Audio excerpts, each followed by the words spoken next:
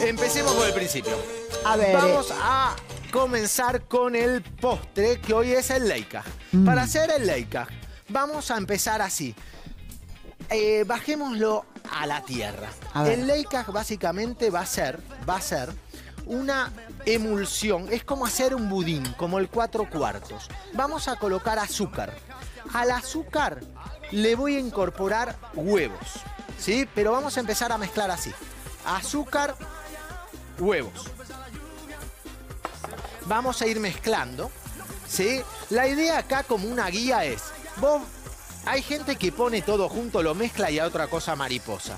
Para que por X causas de la naturaleza nunca falle, mi recomendación es que todos los productos estén a la misma temperatura. Le voy a poner entonces aceite de a poquito en forma de chorrito. Estoy haciendo el budín Leica, el budín de la Bobe. ¿Sí? Hay competencia. ¿Cuál es el mejor Leica? El de la abuela de ella, de Ka- Karin, Karina, está muy bien. Le pone pera, por ejemplo, rallada y licor de café. Por eso la llamé, ella no me quería dar receta, la llamé a la Bobe. ¿O no, Hablaste Karina? con la Bobe. La Bobe tiene la mejor receta. Pero ¿La igual- Bobe? La Bobe tiene la mejor receta, igual te la vamos a Su pasar. bobe tiene la mejor receta, nos gustaría eh, compartir la receta de la bobe de Karina. ¿De acuerdo? Entonces, eh, hidra- eh, estoy haciendo la emulsión, es como hacer una mayonesa, digamos así. Aceite, azúcar, aceite, azúcar, huevos. A esto le voy a agregar, yo lo voy a hacer a la miel. Si la miel está muy fría, yo lo que les digo que todo esté a la misma temperatura, así se hace fácilmente la emulsión.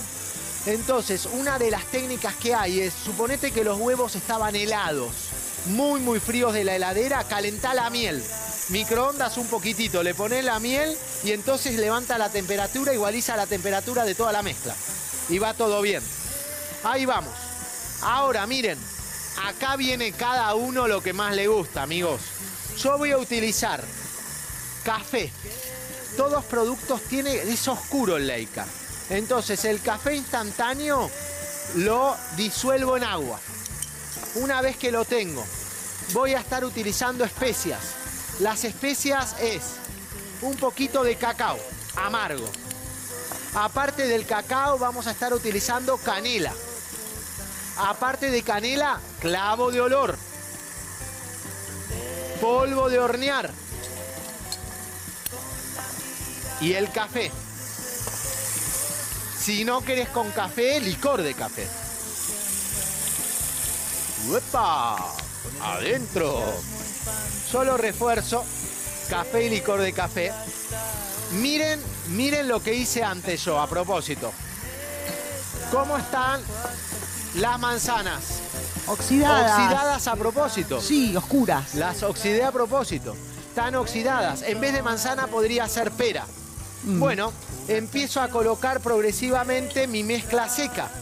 Especias, harina, polvo de hornear, clavo de olor, canela. ¿Qué más le habíamos puesto? ¿Eh? Clavo de olor, la canela, café, cacao amargo. Bueno, pero esto no es una receta, esto es todo.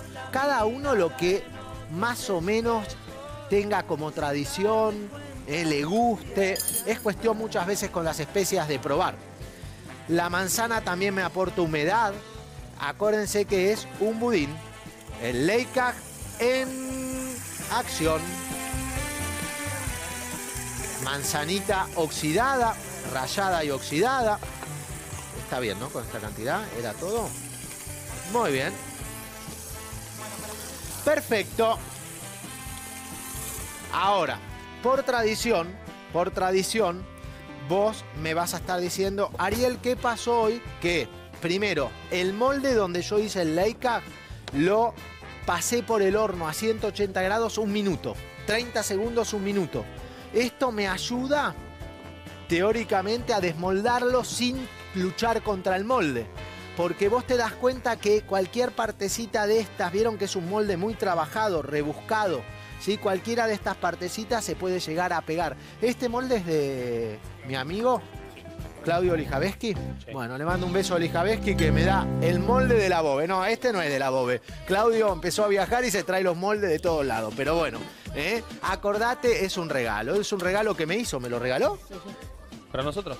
Se muere si le- eh, me viene a buscar a la salida. No, se lo vamos a cuidar. Chicos, una, un datito técnico es que con qué, con qué, con qué uno tiene que, qué antiadherente ponerle para el Leica. ¿Qué antiadherente ponerle para el Leica? ¿Cómo dijo? Ah, si en la tradición no va la manteca. No, va el aceite. ¿eh? Entonces, por eso les digo, lo vamos a aceitar. Para el Leica, aceite. ¿De acuerdo?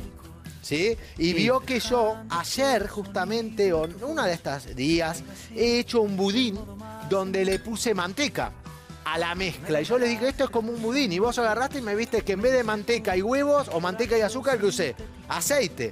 Justamente porque es el Leicas con toda la tradición, ¿sí? Judía. ¿De acuerdo? Entonces, aceite. Eh, una vez que está con aceite, si quieren esto casi, si tienen un molde de esos complicados que se pega siempre, pero como que ni se note que lo hice. El Leica, mira este. ¿Lo ves acá? ¿Les gusta cómo quedó? Este azúcar impalpable por arriba y está bien, pero mira esto. Está, este lo cociné a la mañana, está lo que se llama fresco. Pero, tac, tac, tac, yo escucho los ruiditos. Miren lo que es esto. ¿Qué es lo que tiene ahí adentro? ¿Eh? Nueces. Son las nueces.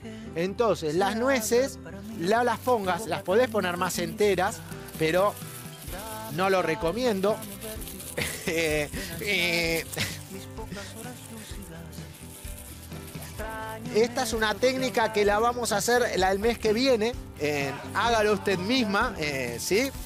Ahí está, se había pegado. Vamos a moler un poquito las nueces. Prepárate. Tengo en el horno, ¿cómo? Tráeme las patas. Tráeme las patas. Ahora les voy a mostrar porque se vienen los sándwiches, se viene todo en esta semana ¿eh? de comida israelí. Bueno, ya está, las piqué rápido, ¿ven? Es un método que es más rápido que andar picando una a una. ¿Sí? Miren.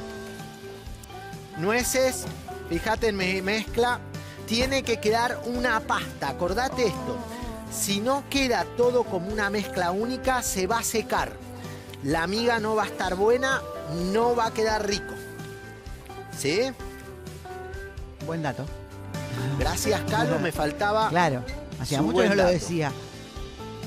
Buen dato. Buen dato. Muy bien. Tiempo de cocción. Qué rico Temperatura de horno. A ver. 160 grados. Tranqui. Tiempo de cocción. 40 minutos. Bien. No es tanto. Y pero miren lo que es mi molde. A ver, en tu casa por ahí no te das cuenta, pero este molde Sí.